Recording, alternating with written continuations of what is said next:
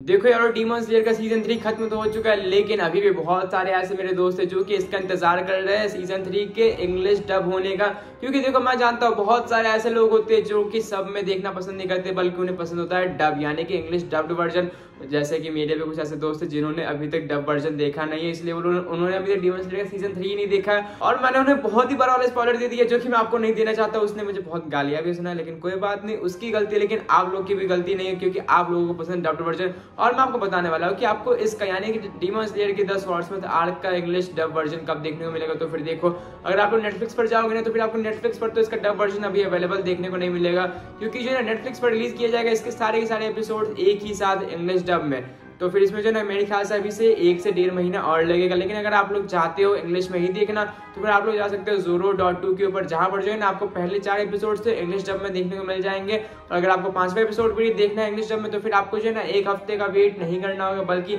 हर Sunday को जो है ना, इसका जो एपिसोड है, वो इंग्लिश डब में आपको रिलीज़ होते हुए दिख जाएँगे जोरो डॉट टू के ऊपर। जी हाँ आपने सही सुना। जैसे कि हर संडे को जो है ना, आपको डीमन स्लेयर का नया एपिसोड देखने को मिलता था, बिल्कुल वैसे ही आपको अब से हर संडे को जो है ना डीमन स्लेयर का हर एपिसोड आपको इंग्लिश डब में रिलीज़ होता हुआ दिख जाएगा तो फिर आप लोग जो ना जोरो डॉट टू जो कि एक एनिमल स्ट्रीमिंग प्लेटफॉर्म है, वहाँ पर जा सकते हो और आप लोग सर्च कर सकते हो डीमन स्लेयर द सोर्स में था वहाँ पर जाकर जो ना आप लोग पहले चार एपिसोड तो आपको इंग्लिश डब में देखने को मिल ही जाएँगे। और अगर आपको पांचवा एपिसोड भी देखना है तो फिर इस संडे को इसका पांचवा एपिसोड भी इंग्लिश डब में रिलीज़ हो जाएगा। छठा एपिसोड अगले संडे को रिलीज़ होगा इंग्लिश डब में सातवां एपिसोड फिर उसके अगले संडे को। और ऐसे करते करते इसके ग्यारह के ग्यारह एपिसोड इंग्लिश डब में रिलीज़ कर दी जाएँगे इस प्लेटफॉर्म पर तो फिर इस पर जाकर आप लोग ज़रूर देख सकते हो, ज़रूर स्ट्रीम कर सकते हो। डीमन स्लेयर का सीज़न थ्री लेकिन अगर आप लोग नेटफ्लिक्स पर ही रहना चाहते हो तो फिर आपको अभी से एक से डेढ़ महीना और वेट करना पड़ेगा इसके इंग्लिश डब को रिलीज़ होने में। क्योंकि इसको इतना समय तो लगेगा नेटफ्लिक्स के ऊपर रिलीज़ होने में इंग्लिश डब में। लेकिन अगर इससे रिलेटेड कोई ऑडियो खबर आएगी तो फिर मैं आपको ज़रूर बताऊँगा कि नया वीडियो बनाकर, क्योंकि यही हमारा काम है तो फिर टाटा।